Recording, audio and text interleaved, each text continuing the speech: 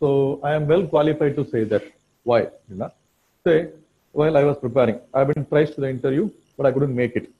The one reason I would say is that, right, it is because of me. The wrong choice of optionals. Actually, my parent option is political science. I experimented with, right, political science and sociology. I say experimented. That means what? I was not settled. I was not clear enough to choose the right option, right? So political science with sociology. Yes, I went for the interview. The second, mains. But I couldn't get it. The reason is that, of course, I got, right, so less marks in interview as well second option, right? So what I did was I changed the optional.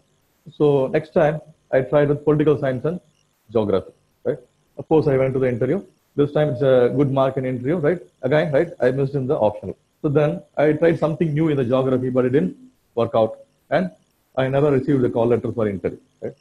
Then again, in my last attempt, I tried for right, political science and psychology. Of course, again, I went to the interview, right? But this time it's by this two marks, right? That means that, right? Again, psychology pulled me down, right? So I say psychology pulled me down, sociology pulled me down, geography pulled me down. The thing is that no options pull me down. It is me, right? I who failed the options.